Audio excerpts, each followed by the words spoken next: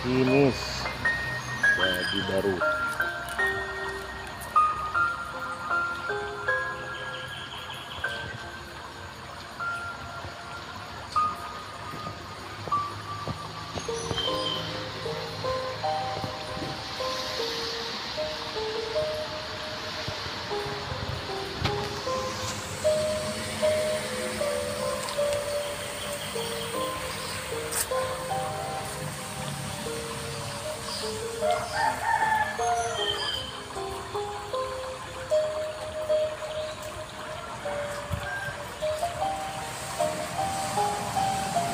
Wes. Hmm. wes. Mantep banget Pak ya. iyalah warna hijau kan seger kan Hmm.